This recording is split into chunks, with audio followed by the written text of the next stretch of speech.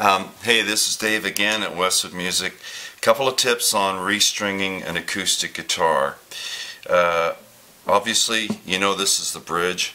Underneath here is something called a bridge plate, which is uh, there to sort of reinforce this area of the guitar.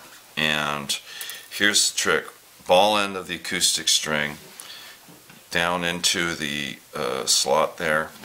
So I usually put them in on a really slight angle like that so that the ball end goes past the soundboard of the guitar and then I pull it back up a little bit and I can actually feel that ball end coming up and contacting the bridge plate underneath. It's real easy to feel it. It just kind of snugs up there. I'm going to put the bridge pin in.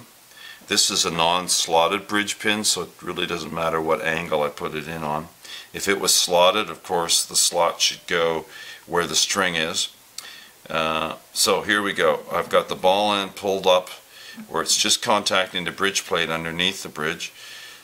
Bridge pins going in and I'm holding the string as I do it so that it stays in its position. And as I'm pushing this down, a little pull on here and I make sure everything's in really nice and snug.